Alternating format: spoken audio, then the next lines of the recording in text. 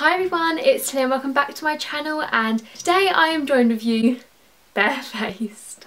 So today I'm going to be doing a full face of Primark makeup. So I've seen this video floating around a bit, well a bit, a lot on YouTube and I just thought I'd give it a go because I've never actually tried any Primark makeup so I just thought it'd be really fun to see how it is because a lot of people think it's really good so fingers crossed it's all great because it's all really super duper affordable. If you like this video don't forget to leave a like and comment down below and obviously if you aren't already make sure you subscribe to my channel and make sure to hit that little bell so you get notified every time I upload and let's get into the video. So I currently have nothing on my face like just my bare skin so that's all we're going in with. I didn't bother getting a primer just because Sometimes I don't even use a primer, so I don't think there was any point of getting a primer.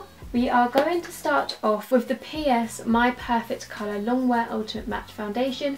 And it says double coverage matte finish oil free SPF 15 and I got this in the shade Toffee and it looks you know a little bit dark it might be really good on the first day of my fake tan but they all looked really pink and I don't really have that much of a great colour selection which is a shame so I had to get Toffee and this is £5 which is really good for a foundation and loads of people love this one. I made sure to buy a light concealer though so we could resurrect the situation. I know it looks bad on camera God, it's just super dry. Maybe I just don't have enough on my face. the only thing I hate about not having like a pump or even like a, like a, is it a wand?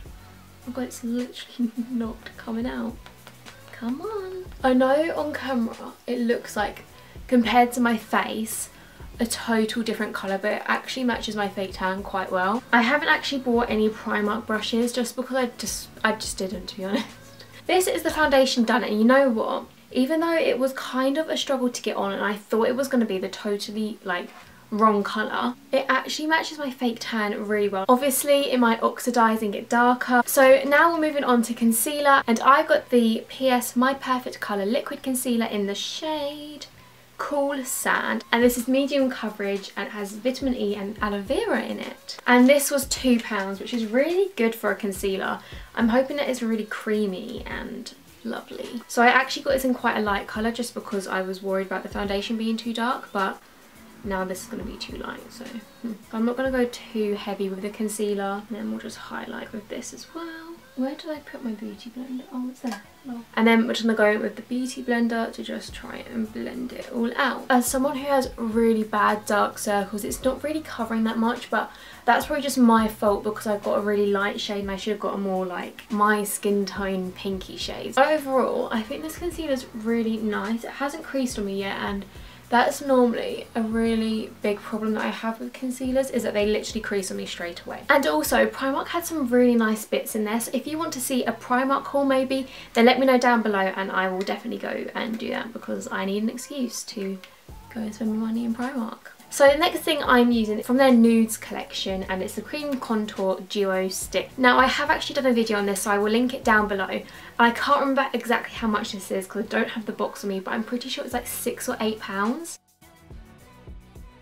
And that is like the cream side of the base done. And I feel like it actually doesn't look that bad. So overall, I would rather my dark circles be covered up a little bit more, but I just don't think with like the kind of shade, it's just not really going to happen.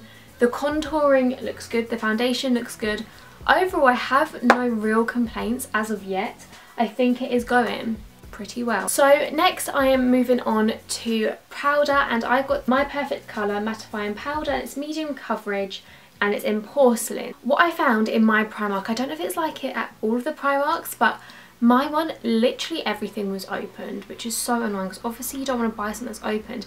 And it's not like they even didn't have any testers, like there were like at least three testers for everything. I had to get porcelain, I did want to get I think it was called Nude maybe. So I have got this super light powder so I'm just to go quite light-handed with it. And this was only £2. So I think that's really good because it comes with a cute little mirror as well. And mirrors on their own are normally like three or four pounds. So this is definitely a little bit light and it's very pigmented. Normally you can get quite lucky with powders and they don't really give you much colour but not today. But I can see already I've got creasing here which happens over time but I don't normally see it this early on into wearing the makeup so that is a little bit disappointing but it might be because I'm talking as well or something. I can't really see a difference between like my normal makeup, like my high-end and drugstore stuff over like the Primark things. But next I am using bronzer and I got the PS Bronze Bronze Queen Matte Bronzer and I'm really happy they had a matte bronzer because I just don't really get along with shimmery bronzers because then I feel like it takes away from the highlight. So I picked up this bronzer. I actually think I really like this is really good and this was only £2 and it's in the shade Sunrise if I didn't already say. I don't think I did say that. Nextly we are moving on to highlighters and I have to say they had a ton of choice for highlighters. They had three or four palettes I believe. I think they might have had four. And then they also had these little single ones and this is the PS Brunch Club highlighter. And I believe they had three shades and honestly looks so stunning. Oh my goodness. I am literally shocked. How much was this highlighter? £2.50. Do you know this reminds me of? Kylie's highlighters. They literally just copy everyone in there. Love it no shame. So nextly we are moving on to eyebrows and they had not too much choice on eyebrow products if I'm honest. They had a lot of pencils which is fine if you like that but I just don't really like that. So I picked up the PS All About Brows Colour Set and Highlight Brow Palette and this was £2.50 and I got medium to dark.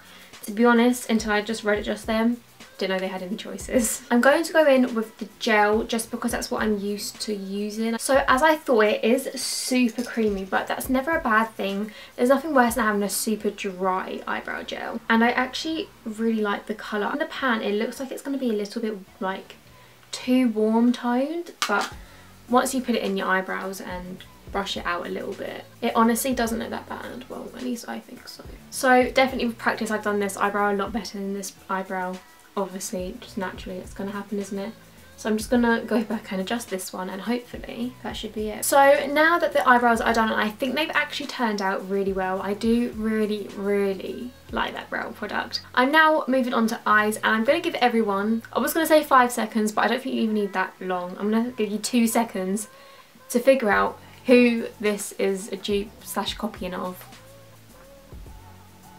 This is exact, like honestly exactly like the Naked Heat palette. And this one was only, oh I don't have the price on the laptop here, how much was it?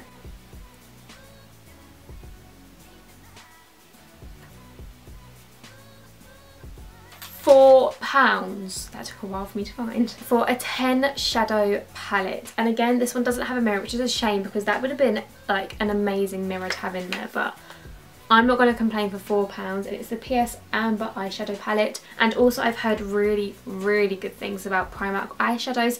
They also had a chocolate palette but I just didn't really see myself using that one. So I'm going to take tan and we're going to use that as our crease colour to just, well our transition colour Oh wow, that comes out totally different than what it is inside the pan. I'm going to take the colour Saffron which is this like pinky colour. I don't really know how it's going to come out though.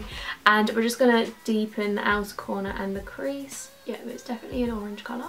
You don't really need to be heavy-handed with these because they are so pigmented. And then finally, I'm going to take a little bit of a smaller brush and go in with Rust, literally just in the corners just to darken it up a little bit. I think that I want to go this gold colour here for the lid and it's called Mirage? Mir Mirage? Mirage. Not too sure, but I'm just to take it on a flat brush. It's like a bronzy copper gold colour and oh, oh, it is so pigmented and I'm using a brush. Normally you don't get this with brushes. This eyeshadow palette was four pounds and it's amazing. So now we are to go under the eyes and basically just go in the same order that we went in with the colours as before to join it all together. So that is the eyeshadow done and honestly guys I am speechless like honestly speechless. So for eyelashes, I don't know if this is cheating or not, but I'm just going to be using my normal GWA Princess lashes because I love them so much. And you can also buy them in Primark for I believe £3. So technically that's not cheating right because you get them in Primark. But I did get a Primark mascara and this is the PS False Lash Effect Extreme Length Definition Volume Mascara. this one. It's the gold one. I think they had three or four mascaras and literally is just mascara. So I'm going to go put on my lashes and mascara and I will be right back. So I've just applied my lashes and mascara. I also put on the mascara which I think turned out pretty well but I didn't really like the brush. It's, it's just super chunky. So I found it quite hard to get really close to like my eye because I was a little bit worried about poking myself in the eye. The last thing I got from Primark was a lip product and this is the PS My Perfect Nude Nourishing Lip Gloss in the shade Pink Teddy. I have to say Primark have so many lip products like so many which is always really good and they are all really affordable. One thing I did notice is that they are literally copying Kylie's lip kits which is just hilarious but I didn't get one of those just because I wanted to get something that I think that I will like and I do think I'll like this. Oh my gosh, what does that smell of? It smells like sweets, it smells so good. It smells like the green starburst so this is the finished lips guys. Let me know what you think. I've never actually worn like a super pigmented lip gloss and I think I kind of like it. So guys, this is the finished look. Let me know down below what you think. I honestly love it. I honestly don't think that you can see a difference between my everyday makeup that I love and this makeup that I've got on right now. So I'm very impressed and it's all super affordable, which is the best thing about it. So don't forget to leave a like and subscribe if you aren't already to see more videos by me and I will see you all on Wednesday with a new video. Bye!